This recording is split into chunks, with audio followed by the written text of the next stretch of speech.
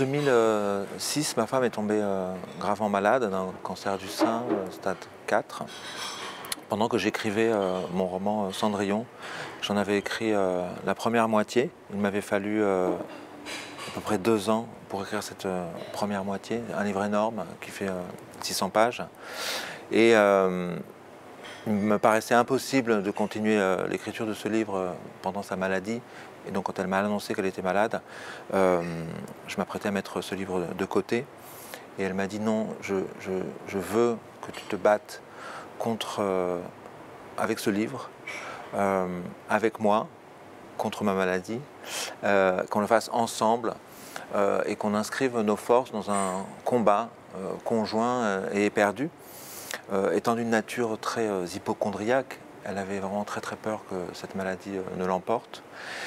Et ça l'a rassurée, je pense, et ça lui donnait des forces de, voir que moi je ne capitulais pas et que je me battais moi aussi contre l'impossible, à savoir terminer un livre énorme en seulement trois mois. Car elle m'avait demandé de terminer ce livre pour le mois de septembre, afin qu'en septembre il sorte, au moment où s'achevait sa chimiothérapie, donc avec l'espoir qu'elle soit guérie, en tout cas en rémission. Et donc ces quelques mois pendant lesquels euh, ma femme se battait euh, contre euh, le cancer et moi avec mon livre pour le terminer, cette période de quelques mois a été l'une des plus intenses et l'une des plus belles qu'on a jamais vécues, elle et moi.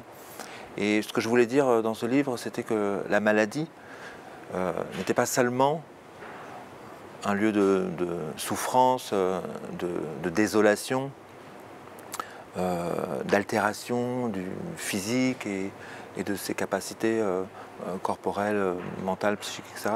Mais pouvait être aussi, si on le souhaitait, être un lieu d'une grande beauté.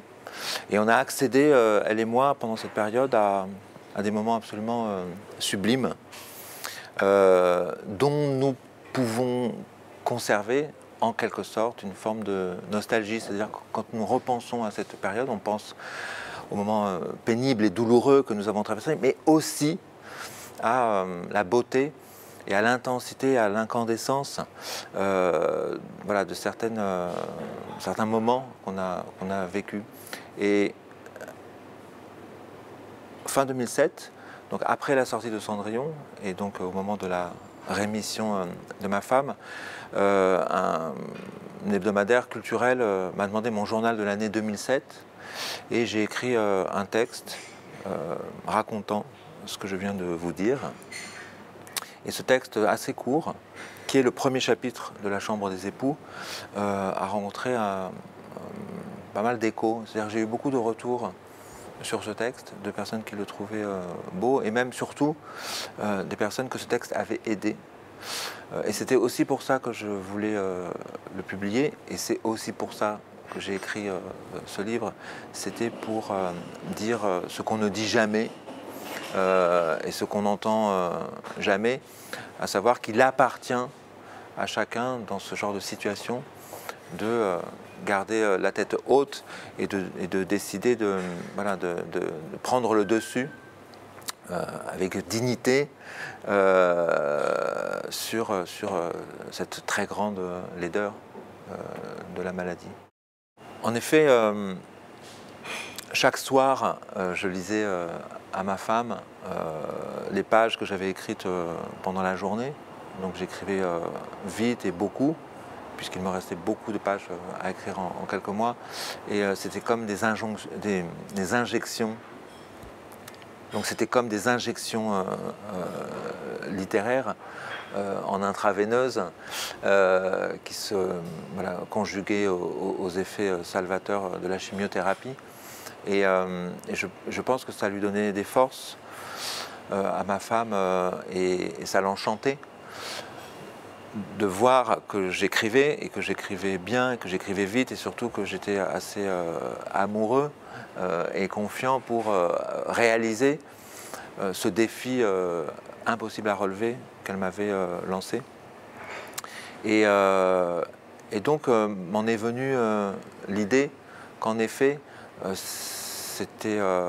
la beauté pouvait aussi sauver on a tous été sauvés par... moi, j'ai été, d'une manière ou d'une autre, et, à plusieurs moments de ma vie, sauvé en quelque sorte par, par l'art, par la découverte d'écrivains majeurs qui ont contribué à orienter ma vie ou m'ont aidé à prendre des décisions importantes qu'il me fallait prendre, m'ont donné confiance en moi.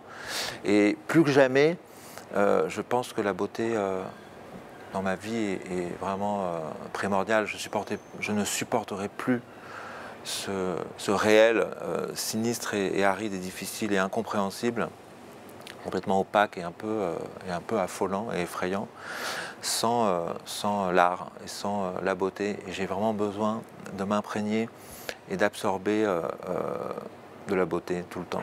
Après euh, la rémission de, ma femme, m'est venue. Euh, d'abord, j'ai euh, fait une rencontre dans un dîner chez des amis communs. j'ai fait la connaissance d'une femme qui avait été terriblement malade, un, cancer extrêmement grave, beaucoup plus grave que le cancer du sein de, de ma femme, puisque c'était un cancer du pancréas et normalement elle n'aurait jamais dû en réchapper. C'était donc une miraculée. Et cette femme m'a profondément euh, touché. Euh, j'ai éprouvé pour elle euh, un, désir métaphysique absolument incroyable. C'était pas du tout un désir physique, si, c'était un désir physique, mais qui ne pouvait.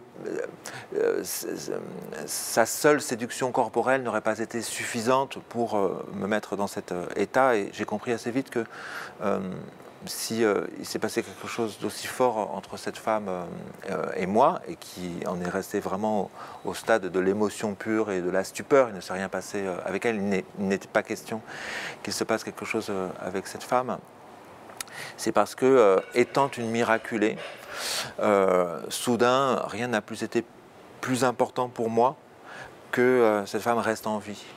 Et ça a été, je pense, le contre-coup de ce que j'avais vécu héroïquement euh, avec euh, ma femme pendant qu'elle était malade et que j'avais essayé euh, de l'aider à, guérir, j'ai craqué en fait à ce moment-là. C'est-à-dire la, le, j'aurais pu tout, aussi, bien m'écrouler quand ma femme m'avait annoncé qu'elle était malade. Je ne l'ai pas fait et c'est quelques mois plus tard, lors de ce dîner, que je me suis écroulé parce que il m'est apparu je l'ai vécu avec mon corps, euh, qu'il était inconcevable pour moi, inacceptable, intolérable que cette femme rechute et meure. Et je pense que dans la vie, euh, ça c'est un peu une doctrine que j'ai, que j'ai toujours eue, euh, obsessionnelle. il faut toujours s'efforcer de produire le plus de beauté possible, produire de la beauté, le plus de beauté possible, aspirer à ça le plus souvent possible, euh, et a fortiori euh, dans un contexte de maladie. Euh, et je pense que souvent les gens, et moi-même j'ai été tenté, de, voilà, par, par, par, cette alternative, quand on tombe malade, on met sa vie on se met soi entre parenthèses. On se dit, voilà, pendant quelques mois, je ne vais plus être moi-même, je ne vais plus avoir le même rapport au réel, je vais être tellement altéré et modifié euh, par la maladie que je suis entre parenthèses et quand je serai guéri, je pourrai me, remettre euh, à vivre. Or non, la maladie, il faut ne pas, la, euh, mettre entre parenthèses, mais la vivre pleinement et ne jamais cesser. Même, je dirais, c'est dans le contexte de maladie que l'injonction à être soi est peut-être la plus grande. Et donc l'injonction à, vivre l'instant euh, et, donc à aspirer à cette, à cette qualité de l'instant et à, cette euh, recherche de la beauté est peut-être la plus grande.